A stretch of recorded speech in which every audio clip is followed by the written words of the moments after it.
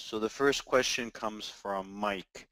And uh, it's a good question, and it's really the essential question to to be asking. And that question is uh, about aggressiveness. So when do you be aggressive, and when do you not be aggressive? Um, he's basically giving a bit of a backdrop. Mike's saying that with the market moving higher, I want to focus on buying at support. But I also have in the back of my mind that we could pull back more before moving higher. So he's like, in this context, when is it good to be aggressive and buy support that is close to price? And when is it when is it not good to be aggressive and wait for a stronger uh, support lower down? Uh, you know, how do you judge being aggressive? He says the problem that I have is that if I wait to buy on a pullback, I may not get a chance to make a trade as price goes to support um, to an earlier support than just goes without pulling back more to where I'm waiting. And I mean, yeah, this is Mike, this is the kind of quintessential problem of trading that we still face, you know, every single day in trading. This is what trading is really all about, and it's always this constant struggle between waiting. When do you really get in? Do you wait for a lower support zone, or do you, um, if you're bullish, let's say, or do you get in more aggressively higher?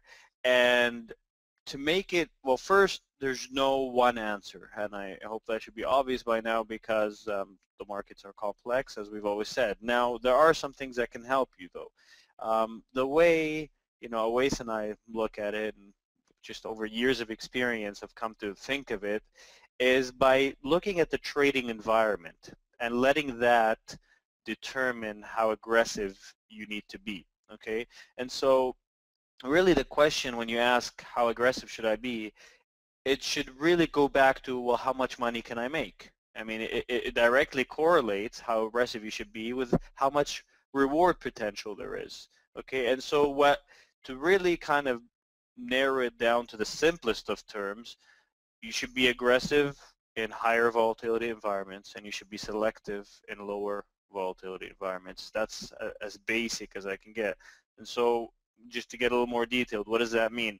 Well, when volume is really low, when the relative volume um, is low and we're having small ranges, you know, up until today, which, you know, we got a nice expanded range, about 17 points or so in the S&P, but up until today, we've been having some tiny ranges. We're having six, seven point ranges and extremely light volume, um, you know, half the volume that we usually get on days. And uh, again, you got to be keeping track of the relative volume. If you have market delta, the indicator just shows it to you. If not, it's not a big deal. You just look at a chart and, and you can just see is volume looking lighter than it usually looks on a day.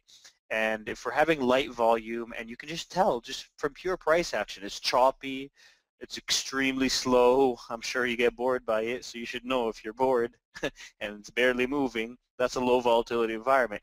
In those kind of environments, it's not that good trades don't set up. You can still get decent reward to risk trades.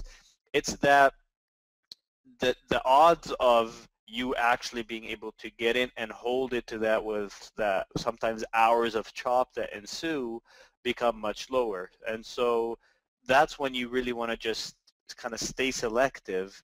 And if you're bullish and it's this really slow, dead environment, all right, and you have a support zone above and then another one below, you might think, okay, I know it could hit this the, the first support zone and, and go from there, but I'm not going to buy it there because if it does hit and go from there, how much could it possibly go? Maybe only a few points.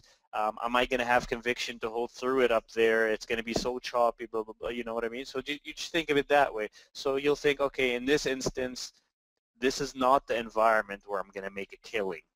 All right, because at best, maybe I'll get a one, one good opportunity, and for it to work out, it'll probably span several hours. And so these are the times where I kind of want to preserve capital and wait for my extreme prices. And if I get them, great. And if I don't, that's fine. I won't think of it as a missed trade. I'll just have to deal with it. Okay. And in those instances, it gets to the first support zone, you skip. You say, okay, fine. If it goes from here, what, there's nothing I can do. But if it gets to the next one, that's where I'm buying. And an example of that could be like yesterday, um, Thursday in the, in the S&P, I mean Tuesday in the S&P, where the market pulls back and, and kind of hits that first the, the gap fill in the first support zone that was around 90.75 or something like that, um, or 90 quarter, and you could have bought there, but it was better to just let it wait and flush all the way through, and so the better buy was down closer to 86, which was another support zone. But then once you've since it's low volume and now you've already moved from 94 down to 86, which is eight points straight down, it's more likely to be exhausted and the range is probably likely to be done for the day and so you might then just want to buy it there.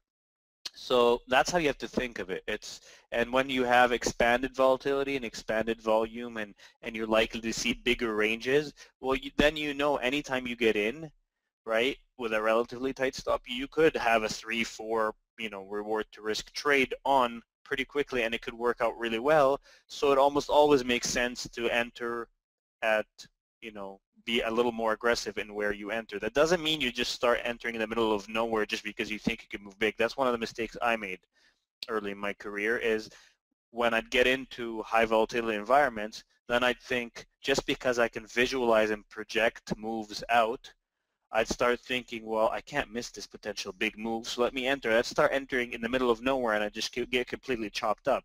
So the point is you still wait for your support resistance zones, but maybe now you know, you enter at the first one, and if that's a loss, then you enter again at the second one, right? Whereas in the slower ones, you only wait for the second one. So I hope that kind of helps, but that's really how you have to think about it.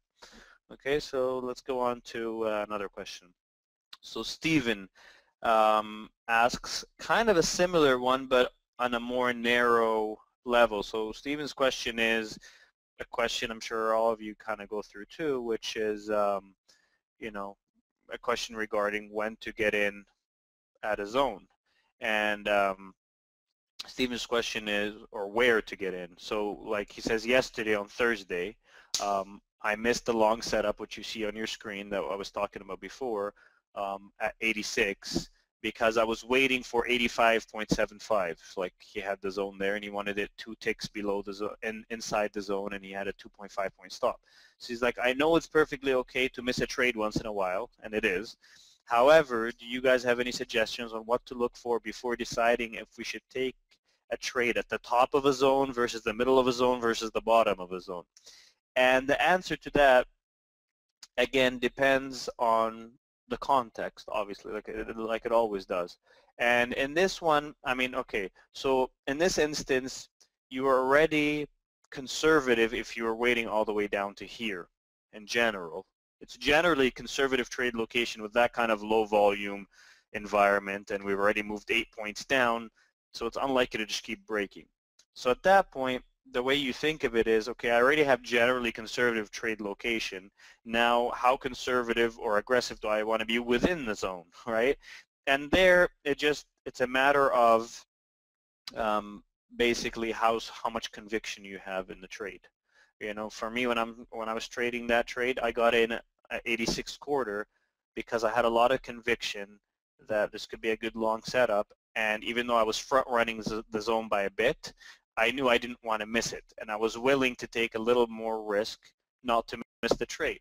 Other times I don't. Other times I wait for it to flush right into the middle of the zone. There's no exact answer, but it's it's contextual. It's um, it's literally you ask yourself, how much conviction do I have in this? Okay, do I really feel like this is a great trade that I can't wait to get into? And if that's the case, then take it at the top of the zone, right?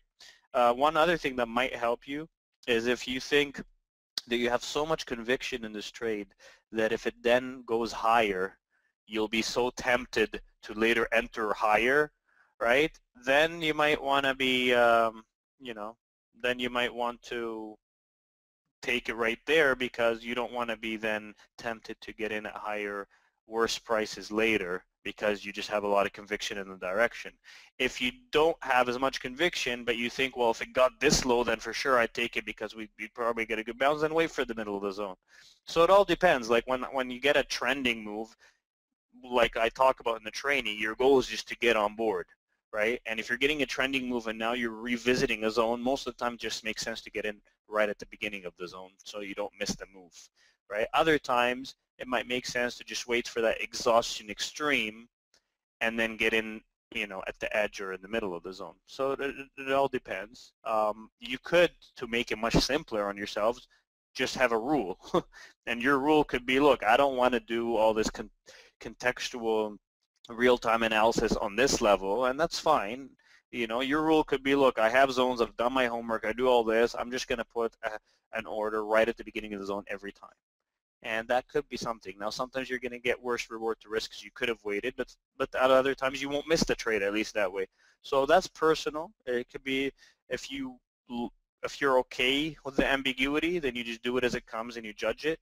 If not, then you could make it more systematic and just make a rule for yourself. Like I'm always going to take it at the beginning of the zone, but then don't beat yourself up if it goes, you know, through and you could have gotten a better price. Whatever it is, just accept that these are the rules I'm making for myself to make my decision making more systematic, easier, and just do it. All right, there's no right answer. All right, so whatever helps you, do whatever works, whatever feels right to you.